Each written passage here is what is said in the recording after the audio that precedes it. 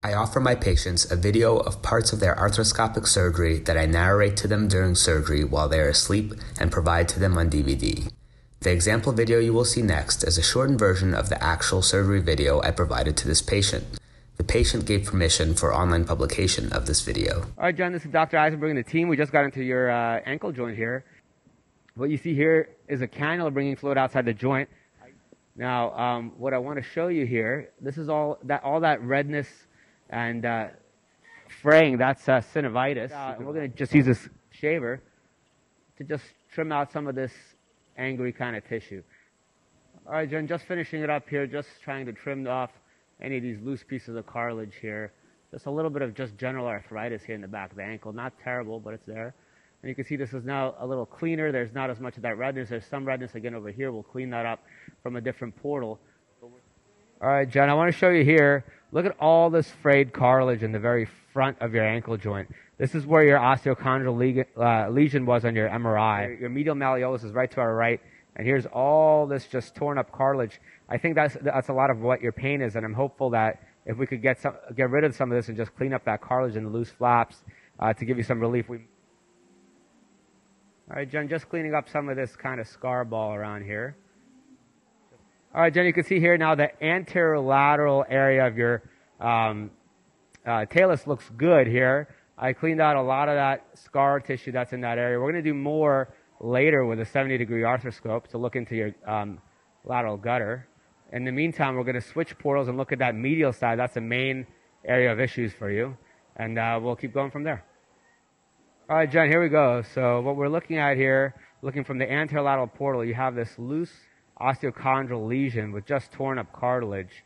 That's where you had your signal on the MRI. So what we're going to do is we're going to start cleaning that up. All right, Jen, here's a little shaver tool. I'm just going to, I'm not digging it in there. I'm just taking off anything that's loose and frayed first.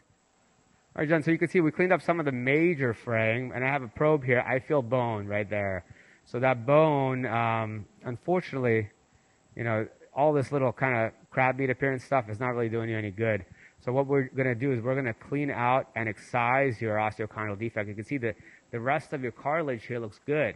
So we're going to just trim that and make a nice uh, bed for a microfracture for that ankle. So all I'm doing right now is I'm taking off the clearly um, torn up cartilage. Sorry, I got something here in my view.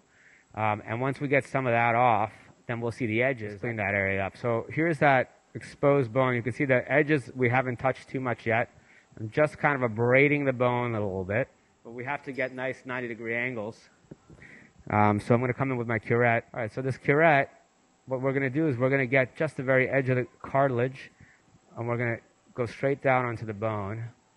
And I'm going to get some of this just to a 90 degree angle to clean off the very edges of that osteochondral defect. So we're going to all right, Jen, so we cleared out most of this here. Each of those hash marks on that probe is two millimeters. Five, so it's 12 by 5 millimeters is what you have as far as your lesion, which is sizable. Um, all right, Jen, so this is a microfracture pick. We're just making little holes in this car, uh, sorry, in the subchondral bone. Just all right, Jen, so harder bone over here, which is good. The bone in the back, I already made a couple holes here. Um, I was able to just kind of push it in. So your bone around this is a little softer, which is not so good. But we made a hole right there, a hole right there, one right here. Uh, so we're going to keep going and make sure it's nice and peppered with these holes. And then we're going to drop the traction and look at the rest of the ankle. All right, Jen, so we're just using this instrument to just create a 90 degree corner right at the edge of the front part of your um, OCD. We popped some holes in there. We're going to do one more in the front. I'm going to use a curette to get the rest of that edge, and then we'll be done with this part until we get the traction down. We have a 90 degree corner, so everything except for that very medial wall uh, we're going to drop the traction a little bit now, and we're going to take a look better at that side and see if we could clean that up a little more.